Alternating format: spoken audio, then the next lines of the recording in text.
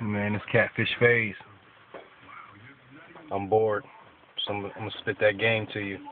You don't gotta call me hard, might not have the most guap. I'm just looking for respect. The same respect that I give you every now and then, everybody needs checked. Word. And I ain't talking about the doctor. I think I'm sick, and if you don't, then press eject.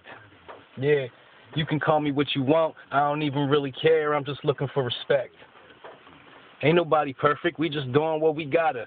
And this is not a verse to say that anybody's hotter, but this is just a platform so I can try to show that a man ain't shit if a man don't grow.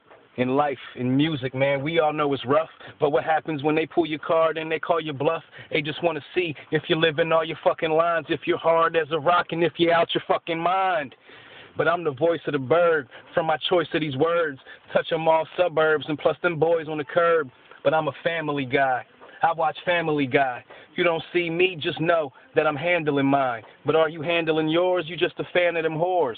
With your neck in the noose, okay, we slamming the door. The separation between us is strictly measured by heart. I don't know where to start or what type of person you are. But I believe that something good live in each and every one of us. But you ain't hearing that, but keep it with you when you coming up. Catfish, 2013. Team Watch Me, win.